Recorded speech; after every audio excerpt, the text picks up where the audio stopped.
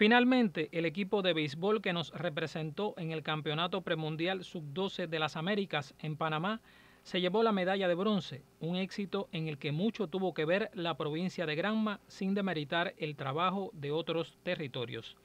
Cinco de los 18 niños que participaron en el evento, Fabián Salcedo, Alfredo de Rivero, José Martínez, Jason Pérez y Osvani Palma, son de esta tierra, además de su director Vladimir Vargas, un hombre que respira béisbol y cuya consagración debe citarse como ejemplo.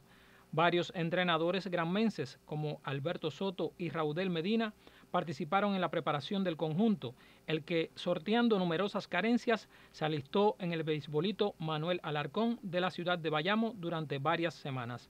Después de los fracasos en otras categorías, muchos pensaron que nuestra selección no podría obtener el boleto al Mundial de China Taipei 2025. Sin embargo, el terreno dictó la última palabra. Cuba logró un cupo a la cita del Orbe y solo perdió con Estados Unidos y República Dominicana, los finalistas de la Liga ganada por los norteños. Los pupilos de Vargas vencieron a Argentina y Brasil, ambos por la vía del cero hit, cero carrera. Incluso contra el segundo consiguieron juego perfecto. También dominaron a Puerto Rico y Venezuela, países con excelentes resultados en estas categorías. Si obtener una de las tres plazas mundialistas era algo destacado, más sobresaliente fue haber ganado el bronce después de superar a Panamá cinco carreras por una en un partido que coronó el esfuerzo de intensos días de entrenamiento.